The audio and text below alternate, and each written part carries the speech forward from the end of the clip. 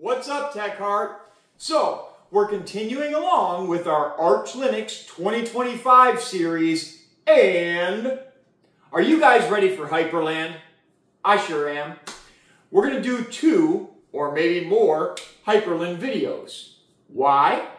The first Hyprland video, we're going to install a theme. Uh, we'll install Hyprland, but we're also going to add a theme from Sol Does Tech. He's really cool. And he had a Hyprland theme, version 1, version 2, version 3, and now version 4. We're going to install it, and we're going to see how good it is in 2025. What that will give you is a complete Hyprland setup that's um, configured from top to bottom, baby!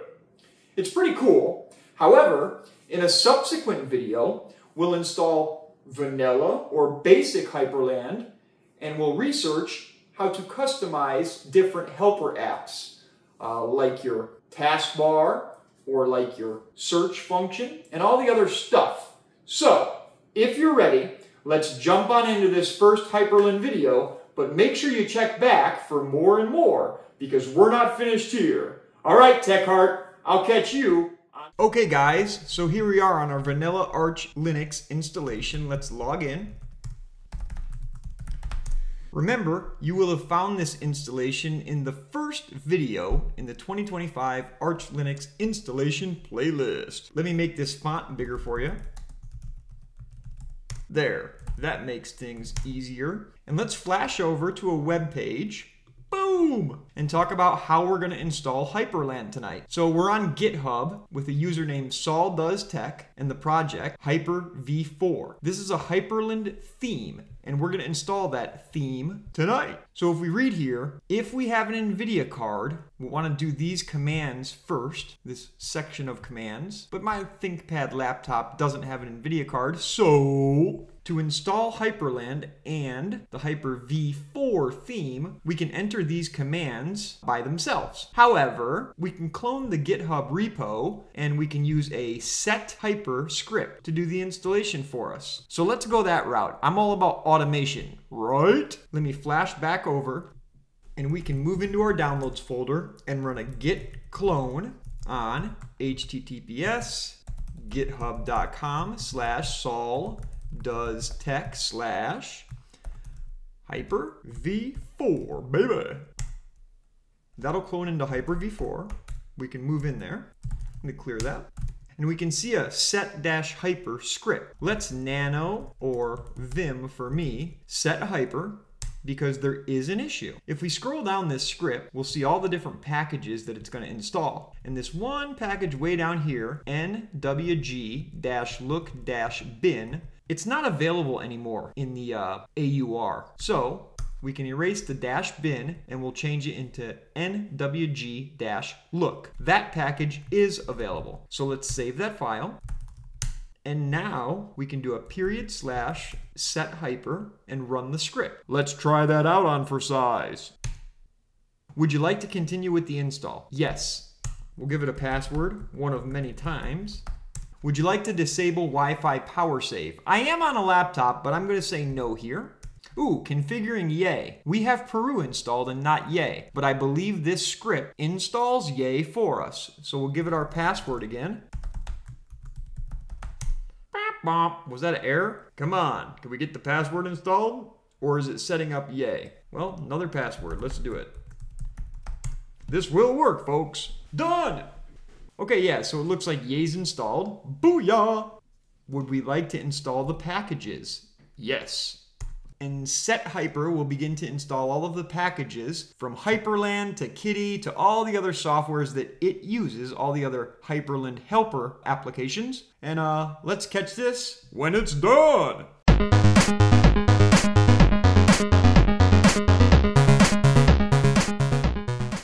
Getting all of our helper apps from Slurp to WL Clipboard to Kitty to Mako to Waybar Baby, Swaylock Effects, Thunar, BTOP, WLogout. Man, we're installing all this Hyprland stuffs. Even Firefox is off in that joint, baby. Thunderbird. MPV, man, we prefer VLC, but we can change that stuff later. Brightness CTL, baby. BlueZ, BlueZ Utils, and Blueman. Oh yeah. We got Starship and Papirus Icon. Okay. Couple different fonts. We got JetBrains over there. Noto fonts for emojis. LX Appearance and XFCE4 settings. NWG Look and finally SDDM. That should be the last one. Let this finish up. We're enabling the SDDM service. Oh gosh, the screen capture is off screen. The set hyper script is asking me, would you like to copy config files? I'm gonna say yes and then it asks, would you like to activate the Starship shell? I'm going to say yes. And then it asks, for Asus ROG laptops, would you like to install Asus ROG software support? Well, I'm on a ThinkPad, so I'm going to say no. And the final thing is it says, would you like to start Hyprland now? I'm going to say no because that's off your screen, but I'm going to advance that and show you. So I said no to would you like to start Hyprland now?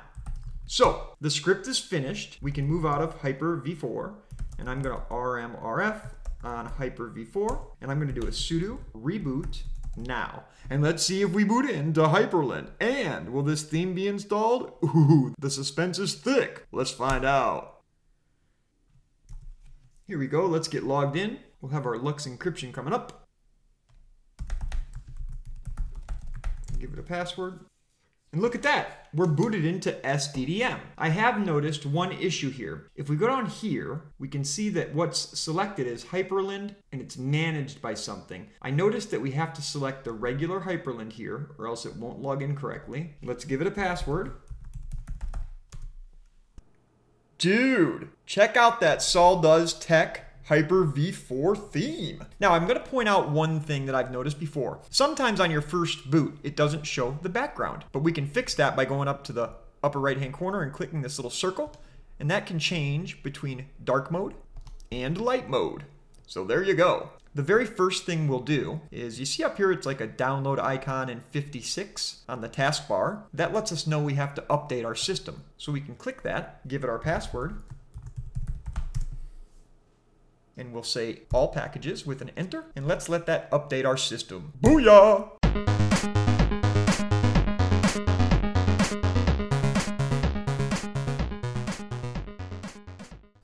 When the window closes down, our system is fully updated. Let's take a look around this theme for a little bit. We can click up here on the power and see a cool W logout theme. This is how we can log out or shut down or reboot our computer. Um, we'll go down here to the menu we can click here. And that brings up, I forget if this is a Rofi or Wofi menu. You can see some of the apps you have installed.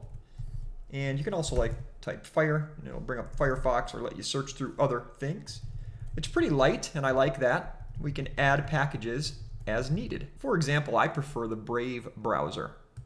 So I can just pull up a terminal with super Q and we can install Brave with one command. curl dash fs capital S https colon backslash backslash dl.brave.com slash install dot sh bar sh. Get it, baby!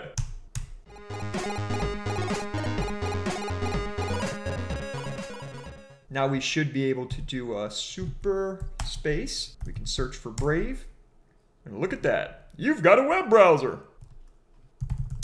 Okay, let me show you around this config a little bit. We can move into the .config folder slash hypr, and these are all of our config files. The main one is hyprland.conf.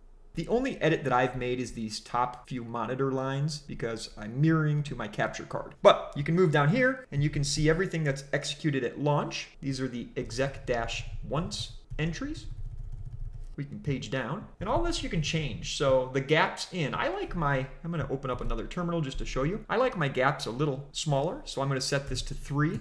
And once you save this file, you can see the gaps are closer together now. So you have many options in this file and you can read on the Hyprland documentation all about this stuff. This is where you'll make all the other edits too. With the HyprV4 theme, you already have a lot set, but you can really change Hyprland up to fit your needs, baby! You'll see all of your keybinds down here, and these are all started with the super key, and then all this stuff down here, Q for the terminal, F4 to kill the active window, L to lock the screen. I really love that W logout theming. I'm gonna do super L and this is that theme. Now when we enter our password, look at this cool animation. Love it. So HyprV4 is really set up for us. Kill that window. And you can take it to the moon with your config files.